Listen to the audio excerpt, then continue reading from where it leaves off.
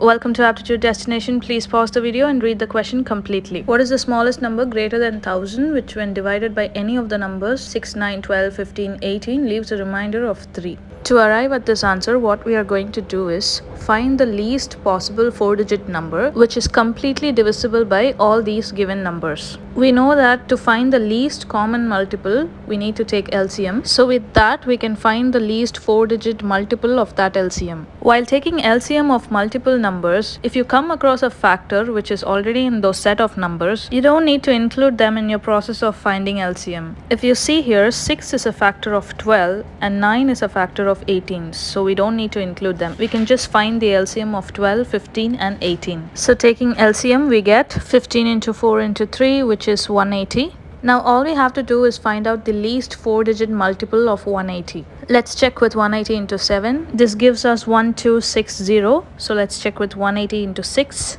This gives us 1080. It is important to note that what we have found out is the least 4 digit number which is completely divisible by 6, 9, 12, 15 and 18. But they have asked for a number which leaves a remainder of 3. So all we have to do is add this remainder with the answer that we got, which will become 1083. Therefore, option C is the right answer. There's also another method with which you can arrive at the answer. This is just to save some of your time because aptitude is all about arriving at the answer in the quickest way possible. So what I'm going to do now is write down all the options given and since the remainder is given as 3, we know that the number which is completely divisible by 3 should be 3 lesser than the options given. So I'm subtracting 3 from all of the options, I'll get 1060, 1070, 1080 and 1180. We know that the LCM that we got is a multiple of 3 which means the answer is also going to be a multiple of 3. And the divisibility rule of 3 is that the sum of the digits should be divisible by 3, right? So let's check the sum of the digits in the given options.